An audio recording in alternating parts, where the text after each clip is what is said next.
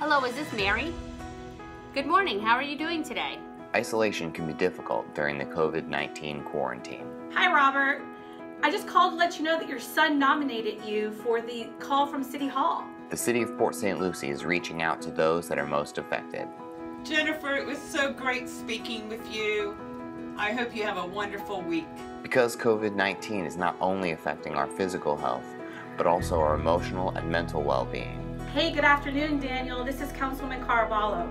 I was just calling to see how your afternoon is going so far. If you'd like to nominate someone for a call from City Hall, go to cityofpsl.com slash call from City Hall.